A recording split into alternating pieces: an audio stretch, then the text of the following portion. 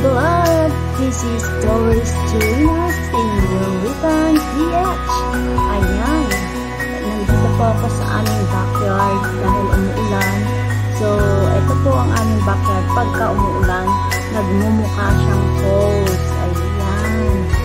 Ang ganda-ganda. Pero ang tubig po niya is brown.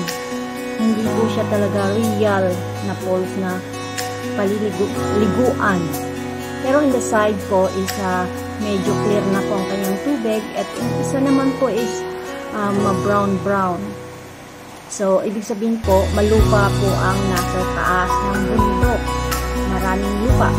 So, kaya ang binubuga yung tubig is ma-brown-brown. Ayan po. Enjoy watching po sa aming munting falls. Ayan. Enjoy, enjoy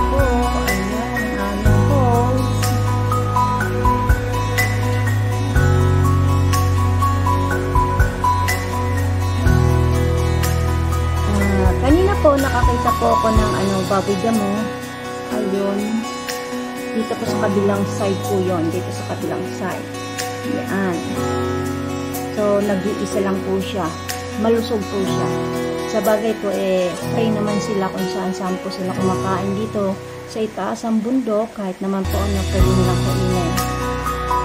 Ayan, ang aming munting falls.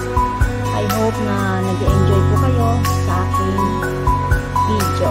Ayan, magpapalam na po si Senorita DH. Thank you. Bye-bye.